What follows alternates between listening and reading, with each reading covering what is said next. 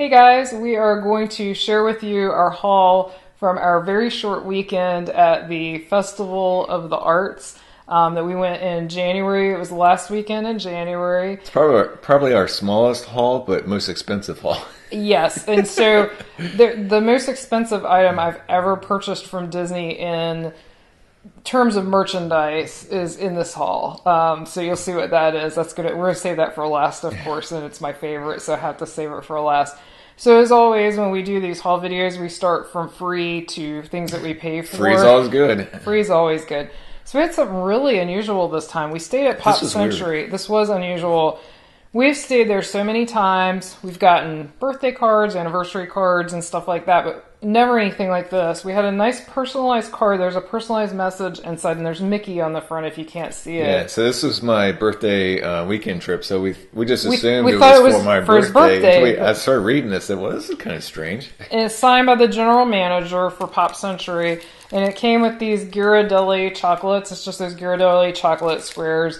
Um, but it was interesting. It was just basically thanking us for being a repeat customer at Pop Century. Which Um, we've been to Pop Century many many times. I don't know if that's so maybe why we, we, hit a it. magic number. Maybe we stayed there 10 times or, you know We've what I mean? been there lots of times. We have. so- Um, so that was Who very knows? nice touch. Um, I was disappointed he didn't get a birthday card because I specifically put his birthday. I actually called them to make sure that they had that it was his birthday. Actually, I'd rather have the chocolates. That's true because they only give you a card when Right. they do the birthday thing. Yeah. So bonus chocolates. so that was neat. That was cool. And then um, also we, of course, got the Festival of the Arts. Um, what do you call these? Pa- they call it passport during um, International Food and Wine Festival. I don't know that it's called a. Oh yeah, it is Festival Passport. So there you go. So we got the 2018 passport. And that's free, and it basically just tells you all the activities, all the food booths, and also there's stickers that you Yeah. can use to mark what you've done and haven't done. And then also, I if you've seen our Festival of the Arts video, and if you haven't, I will link it over Brian's head right now. Um, I did the um, where you basically paint a giant mural, and it's paint by numbers. They give you paint and a little brush, and there's little bitty squares with numbers, and Yeah. you paint the numbers.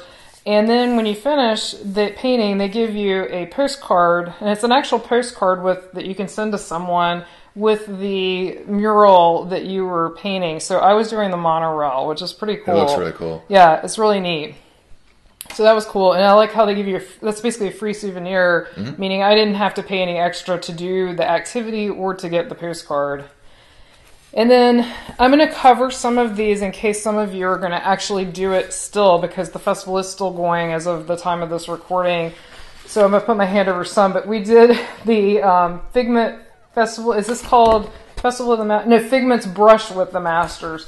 So in several of the countries around World Showcase, they have Figment in famous painting. So it's the famous painting, but with Figment added to I it. will say we've done several of these hunt things through the show, World Showcase. This was the most difficult, I would agree. right? Yeah, Because I we had agree. to like Google like two or three of them. Yeah, Yeah. this was definitely challenging.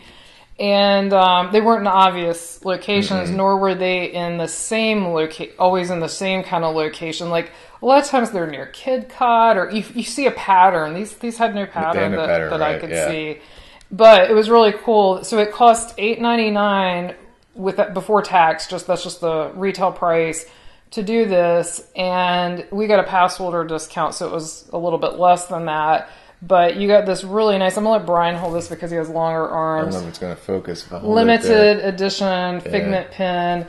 Um, I can show it later. I'll take a photo and put Maybe it that in. focus. I can't tell. Yeah. So it's really nice. Um, it's basically Figment painting Spaceship Earth. Yeah, that's so really it's neat. very super cute, and you could choose from several different pens. So that was really neat. Um, so even though that was sort of purchased, we didn't buy the pen. We did the hunt. So that's sort of the end of the free slash somewhere in the middle. So this I'm super excited about because I wanted this um, at the 35th anniversary for Epcot, which we were there for.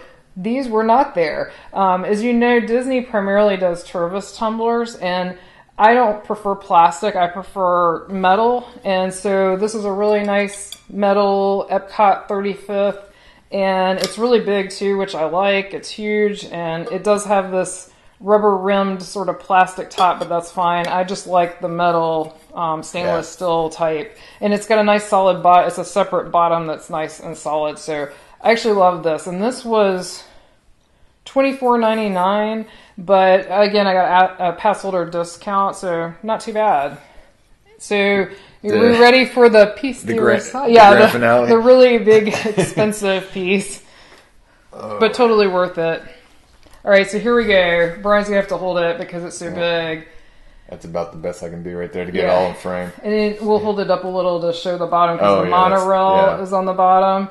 So I love this painting, and thankfully I saw this before we went because I'm not big. You can take it down because I think it's You want to show like the back? Sure, the yeah. So there's a certificate of authenticity, and it's number five of 195. Which is that's really impressive, you know. and it gives you a little information about the artist. I love it. And so that was three hundred dollars or two ninety five. I don't remember the exact, but close to three hundred dollars.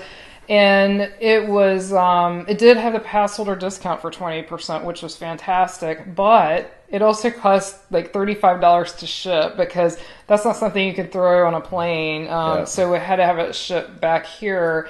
So I totally love it though. I love it. I love everything about it. I love the style. I love Figment. I love Spaceship Earth. I love World Showcase. I love the monorail. Not riding it, but looking at it. Um, so it's one of those purchases that sure it was expensive, but I'll have it the rest of my life and enjoy it because it'll be hanging That's on neat. my wall over my desk. So I'm super happy. And there was actually a little bit of drama with getting it. Um, UPS claimed that they tried to deliver it on the second. there was no note on the door, right? No note ever on the door. No indication any delivery attempt was made. And Disney didn't tell me how long it would take to get it. But I started thinking this past, this is Saturday, this past Thursday, I thought- started thinking I should have that by now.